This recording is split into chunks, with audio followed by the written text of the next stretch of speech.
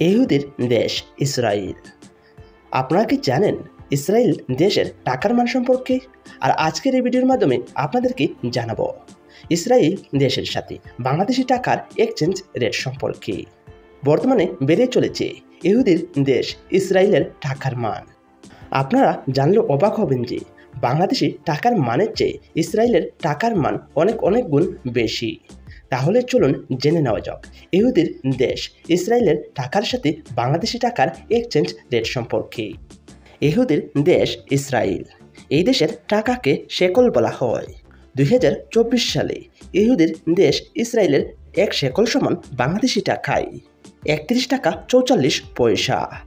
দুই হাজার চব্বিশ সালে এসে দেখা যাচ্ছে বেড়ে চলেছে ইহুদির দেশ ইসরায়েলের টাকার মান। এবার জেনে নেওয়া যাক। ইহুদির দেশ ইসরায়েলের একশত শেকল সমান বাংলাদেশি টাকায় কত টাকা? ইসরায়েলের একশত শেকল সমান বাংলাদেশি টাকায় তিন হাজার একশত চৌচল্লিশ টাকা ছেচল্লিশ পয়সা। এবার জেনে নেওয়া যাক, ইসরায়েলের পাঁচশত শেকল সমান বাংলাদেশি টাকায় কত টাকা? ইসরায়েলের পাঁচশত শেকল সমান বাংলাদেশি টাকায় পনেরো হাজার সাতশত বাইশ টাকা একচল্লিশ পয়সা। টাকার মান পরিবর্তনশীল। ইহুদির দেশ ইসরায়েলের টাকার মান পই পই করেই বাড়ছে। এবার জেনে নেওয়া যাক, ইসরায়েলের এক হাজার শেকল সমান বাংলাদেশি টাকায় কত টাকা?